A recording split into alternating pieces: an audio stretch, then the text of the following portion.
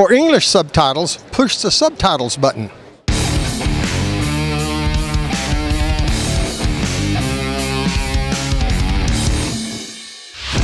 Hallo zu einer neuen Reptil-TV-Folge. Mein Intro-Tierchen heute eine Bergkönigsnatter Lampropeltis pyromelana. Ähm, die Lampropelten, habe ich so den Eindruck, sind die letzten Jahre wenig ins Hintertreffen geraten. Also früher war so eine Pyromelana ein Klassiker, der äh, zumindest in keinem Reptilienhandel fehlen durfte und wo auch wirklich äh, die Lampropelten wurden ja viel gezüchtet eine Zeit lang. Äh, die letzten Jahre ist schon fast die Ausnahme. Also ich bin äh, ich bin froh, wenn ich ab und zu mal irgend so was Lampropeltenmäßiges reinkriege. Äh, wunderschöne Tiere, tolle Größe. Ne? Das ist ein ausgewachsenes Weibchen hier. Ich glaube vierjährig, wenn ich es jetzt richtig im Kopf habe. Ähm, also tolles Terrarientier, fressen problemlos Mäuse. Ähm, von dem her wundere ich mich, wieso die die letzten Jahre so ein bisschen untergegangen sind. Und deswegen heute mein Intro-Tierchen für euch. Heute möchte ich euch mein neuestes Königspython Zuchtprojekt vorstellen. Äh, das geht um Patternless Königspythons. Wenn ihr mal schaut, Patternless, es gibt seit fast 20 Jahren, äh, haben die Barkers äh, Patternless äh, Tiere oder zumindest ein Tier. Äh, in meinem Buch ist es ganz gut beschrieben, wenn ihr schaut unter rezessive Morphen, äh, ziemlich hinten Patternless. da findet ihr was über die Tiere von, von der Tracy Barker. Der Ralph Davis hat meines Wissens aus Afrika mal ein Patternless bekommen vor vielen Jahren. Äh, auch davon hat man nicht mehr allzu viel gehört. Also es gibt den Patternless Königspython im Prinzip seit ja, bestimmt schon 20 Jahren, aber komischerweise wird fast nichts damit gezüchtet. Ne? Eigentlich eigenartig. Ne? Ähm, jetzt durch Zufall, mich hat äh, jemand angeschrieben, äh, der so ein Projekt mit Patternless hatte äh, der das Projekt verkaufen wollte, weil er einfach äh, insgesamt von den Schlangen weggeht, sich mehr auf die Varanhaltung spezialisieren will. Und ähm, so bin ich zu diesem Projekt gekommen. Und das ganze Projekt geht zurück auf dieses Tier. Das ist ein Afrika Oddball. Der Kunde hat den von mir gekauft, äh, schon im Jahr äh, 2000 oder der ist vom Jahr 2010 äh, hat er das Tier gekauft. Äh, so sah der aus. Ne? Also so ein, ähm, was was ein bisschen auffällt, ist vielleicht so wenn die, die Streifenzeichnung, die man hier so sieht. Ne? Also er ist nicht durchgehend gestreift, aber er hat so ein paar Streifen drin. Ähm, von der Färbung her äh, ist er auch ein bisschen anders. Ne? Der Kopf ist ein bisschen heller, würde ich sagen. Äh, die Flanken insgesamt bräunlicher. Ne? Ist einfach so wenn ein ja, klassischer Oddball aus Afrika, wo man mal probieren kann, was darin steckt. Ne? Das hat er gemacht. Der hat das Tier verpaart. Äh, am Anfang hat er es erstmal mit einem Feuer verpaart. Ne? Als Jungtier war er noch klein wenig heller. Hat er sich wahrscheinlich gedacht, naja, vielleicht geht es so in die Feierrichtung. Äh, hat er es mit einem Feuer verpaart. Und dann kam das Tier raus, das ich euch jetzt gleich zeigen werde.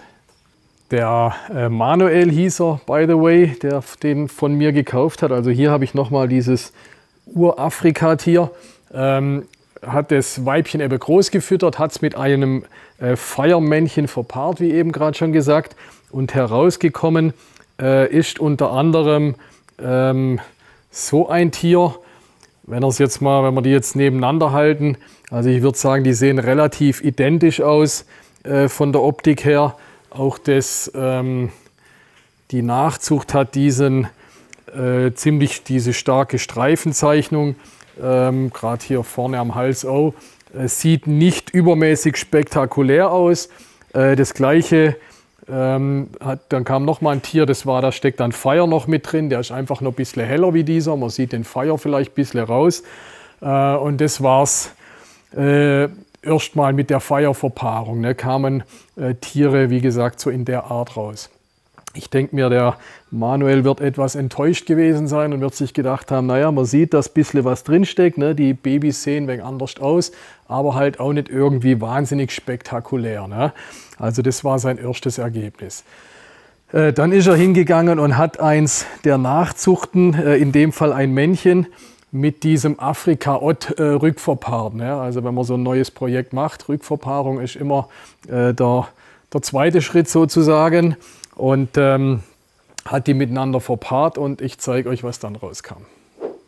herausgekommen äh, bei der Verpaarung sind äh, zwei von diesen Tieren. Ne? Ähm, also optisch sehen die aus wie diese Patternless, wie man sie so kennt. Ne? Wenn man sich den, wie gesagt, den Barker Patternless anschaut oder den Ralph Davis Patternless, äh, die sehen eigentlich so aus. Ne? Man hat so einen, einen, leichten Strich auf dem Rücken, auch bei den anderen Patternless. Ähm, aber insgesamt, also patternless übersetzt heißt ja zeichnungslos. Ne? Also man bekommt einen äh, fast einfarbigen Königspüter, ne? von der Zeichnung nichts zu sehen. Ähm, äh, da, wie gesagt, daher der Name Patternless. Und zwei dieser Patternless-Tiere kamen bei der Verpaarung raus. Ne? Wir können euch auch mal noch ein äh, Foto einblenden von dem ganzen Gelege, was dabei rauskam. Also es waren äh, zwei Patternless. Der eine äh, Klassikfarbe, das ist der hier. Der andere ist wohl Patternless Fire, würde ich sagen. Ähm, der ist gleich wenig heller. Da hat sich wohl das äh, Fire-Gen äh, kodominant mit vererbt. Und ähm, dann gibt es noch äh, diverse Geschwistertiere. Ne? Ich denke mir, der äh, Manuel hat sich bestimmt gefreut über das Ergebnis, ne, weil damit hat er nicht gerechnet. Ähm, und äh, ist, ist auf jeden Fall ein, ein, toller Erfolg, wenn man aus so einem Afrika-Ott äh, sowas hier rauskriegt, was es so weit bis jetzt auch noch nicht gibt. Äh, die Frage ist jetzt natürlich, was oder was, was ist es genau oder wie äh, ist es patternless wie die, äh, wie die Tiere, die, es, die ich vorher erwähnt habe, die es schon gibt, äh, Barker Davis, ähm, ist es was anderes. Ähm, das ist das, was man noch äh, bei der Sache rausfinden muss. Ähm, ich nenne die Geschichte jetzt einfach mal Patternless X, einfach ein X dazu, was die Kompatibilität anbetrifft, nicht geprüfte Patternless äh, Art äh, deswegen einfach Patternless X, ne, hört sich mit dem X hört sich immer spannend an, aber man kann es eben auch klar dagegen abgrenzen. Ähm, das Projekt ging noch gleich ein bisschen weiter. Er hat dann den Patternless, äh, in dem Fall, ich habe hier das Weibchen, eben das, das war natürlich auch Glück, äh, da kam ein Weibchen, ein Männchen dabei raus, ich habe hier das Weibchen. Äh, er hat das Männchen verpaart mit einem Cinnamon und hat dann, dann sind ihm leider dummerweise die Eier äh, überwiegend abgestorben bei der Verpaarung. Äh, allerdings ein Ei hat es bis fast vor dem Schlupf geschafft, äh, ist dann auch vor dem Schlupf abgestorben. Er hat das Ei aufgemacht und es kam ein ganz schwarzes Tier heraus. Ne?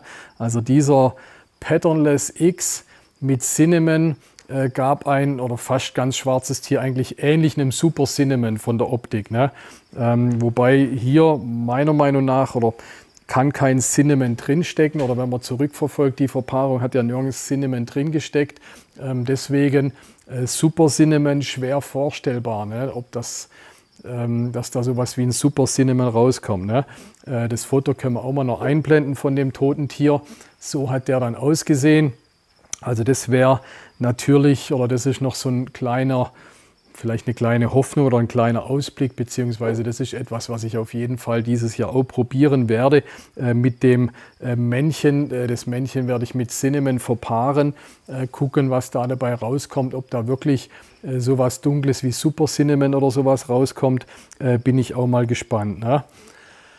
Insgesamt noch zu dem Projekt ähm, ja, noch zwei wichtige Dinge. die eine Sache, es gibt ähm, es gibt Genetic Stripe äh, Königspython, wisst ihr natürlich, dass es Genetic Stripe gibt. Nee, was ich sagen will, es gibt äh, auch ein Patternless Projekt aus Österreich. Äh, da hat aus Österreich jemand Patternless Tiere, die sind wohl kompatibel mit Genetic Stripe. Ne? Ähm, klar, wenn man den Patternless anguckt, er hat ja auch eine gewisse Ähnlichkeit mit, mit Genetic Stripe. Ne? Also dazu ist es naheliegend, ich verpaar mal so ein Patternless mit Genetic Stripe und gucke, was dann passiert. Ne? Der Genetic Stripe hat ja einfach noch eine äh, deutlichere äh, Streifenzeichnung ne, im Vergleich zu dem Patternless. Ähm, also diese österreichische T äh, Linie soll kompatibel mit Genetic Stripe sein. Wenn man die miteinander verpaart, kommen äh, Tiere heraus, die ähm, entweder patternless sind bzw. Genetics Tribe sind oder ein bisschen was zwischendrin.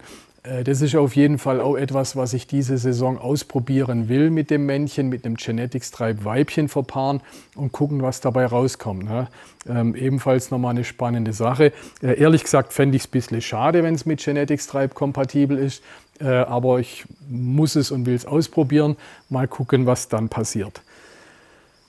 Ähm, die zweite Sache zu guter Letzt, die Insider von euch, die jetzt das alles hören und auch schon vorherige Folgen sehen, werden vielleicht an den BB-Ball zurückdenken. Ne? Oder wenn ich jetzt gerade sogar was Schwarzes erwähnt habe, äh, selbst in dem Moment, wo ich selber, wo ich schwarz gesagt habe, musste ich ein bisschen in mich reingrinsen. Ähm, jetzt ist halt die Frage, inwieweit kann man jemand glauben, äh, der so ein Projekt verkauft, dass das soweit alles stimmt. Ähm, der Manuel, von dem ich es gekauft habe, äh, lebt hier in Deutschland, ist wirklich ein ganz solider, seriöser Züchter. Ähm, allein vom Typ her glaube ich nicht, dass er da äh, irgendwie schwindelt. Äh, das Zweite, solche Tiere äh, wie den hier, wie gesagt, den gibt es in dem Sinne gar nicht, beziehungsweise da gibt es eben von den Patternless ein paar wenige auf der Welt. Wo soll er die herhaben? Ähm, er hat es relativ klar dokumentiert ne, mit den Fotos, äh, wie gesagt, das dunkle Tier im Ei oder die, äh, diese Patternless X, äh, wo sie geschlüpft sind. Also er hat es relativ klar dokumentiert. Also von dem her halte ich die ganze Sache für absolut seriös. Äh, wieso er die Sache hergibt, äh, hat mich auch ein bisschen gewundert, habe ich ihn auch gefragt. Wie gesagt, er sagt, er will mehr sich den Varanen widmen. Er hat auch eine ordentliche Stange Geld von mir gekriegt. Das Ganze hat äh, ja, zumindest im im niedrigen, äh, jetzt muss ich rechnen, im niedrigen fünfstelligen Bereich hat das ganze Projekt gekostet. Ähm, also ist es doch auch einiges Geld, was da geflossen ist, was er sich bestimmt, äh, worüber er sich bestimmt auch gefreut hat. Von dem her, äh, ich glaube an das Projekt, ich bin echt super gespannt drauf.